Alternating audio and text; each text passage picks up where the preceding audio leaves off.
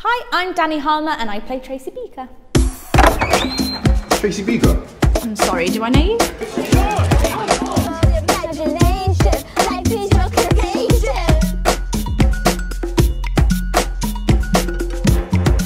Yes, so Tracy now is a mum, which is amazing. Um, I think the last time we saw her, she was working as a care worker in her 20s. Uh, now she's in her 30s and she's a mum, so um, it's been really cool for me because I was kind of like everyone else. I really wanted to know what happened next, where Tracy's journey is going to take her.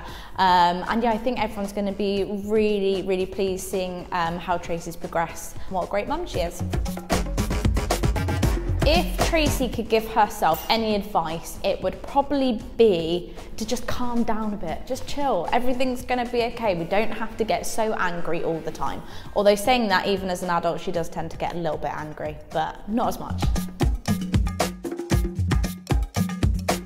Oh yeah, I've definitely brought my mum's skills with me. Although Jess is a bit older than my daughter, my daughter's only four. Um, but I've kind of just thought back to how much I kind of changed really from pre-Avery to now. Um, and it does, it changes you completely. Your whole priorities change and your perspective of life and you realise what's really important. So I wanted to make sure that that sort of came across um, with Tracy as well because, you know, before she would get really angry over like the smallest little things, but now her priority is Jess. Um, and she's massively protective of her, maybe a little bit too much.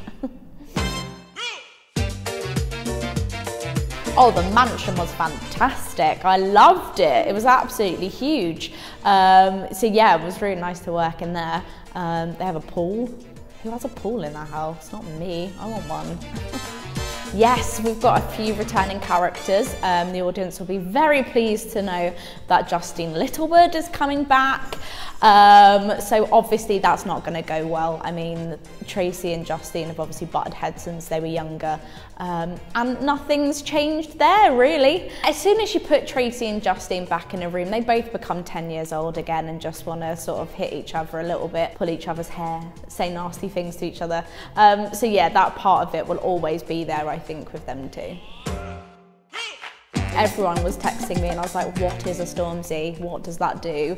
And then I realised actually that's very, very cool. And my sister was like, oh my God, you're so cool. I was like, thank you. Stormzy used the Tracy Beaker single. Uh, so yeah, thank you for giving me some street cred, Stormzy. If you wanted to collab on anything, need me in a music video, you know where to find me.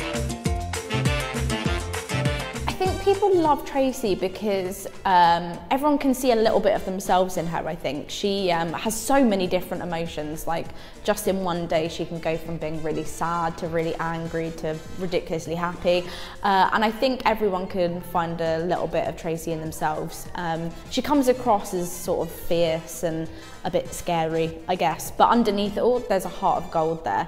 Um, and I think people just love how sort of independent and, and fierce she really is. So I think that's why people like her. I think it's really nice as well when we first brought out Tracy Beaker. For me, growing up, there wasn't really many strong female characters, especially in kids' TV. Um, it was kind of a lot of sort of slapstick comedy stuff. So for me to be able to portray this awesome female character um, was just like a dream come true. So, and I'm really glad it's kind of stood the test of time because uh, women are awesome.